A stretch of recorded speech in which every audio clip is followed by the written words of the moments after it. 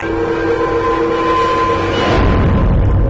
नमस्कार prime news 24 में आपका स्वागत है। मैं हूँ अग्रमा जादौन और खबर गोंडा ज़िले से आ रही है। गोंडा जिला महिला चिकित्सालय में स्वच्छ भारत मिशन के नियमों की उड़ाई जा रही धज्जियाँ।